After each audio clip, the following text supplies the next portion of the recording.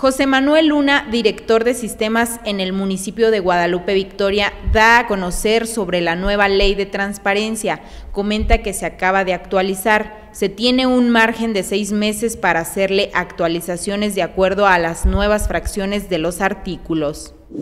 Mira, ahorita hay una nueva ley de transparencia, más bien se acaba de actualizar. Esa ley nos dice que tenemos un margen de seis meses para hacerle actualizaciones de acuerdo a unas nuevas fracciones de los artículos. Los artículos es en cuanto a lo que es las convocatorias de cabildo, si mal no recuerdo lo que es este con información respecto a seguridad pública, a tesorería y a obra pública. Antes nada más hacíamos como un tipo reporte de la información con los recursos. Ahora tenemos que detallarlo más.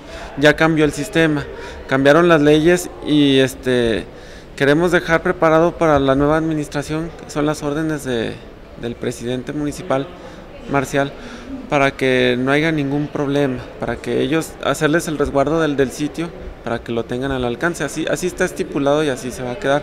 Ya ellos ya van a, serán los, quien quede encargado será quien, quien acomode esa información de acuerdo a esa ley.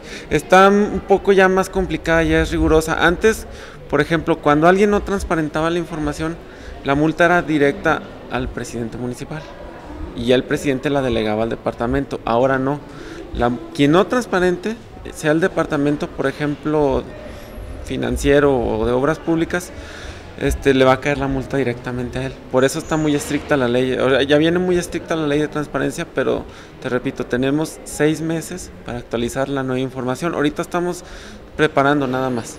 Ahorita tenemos la información actualizada lo que viene siendo marzo, pero ya después de marzo con el cambio el cambio se dio el 5 de mayo, tenemos que transparentarla más o menos en octubre con esas nuevas reglas o normas, así le podemos decir.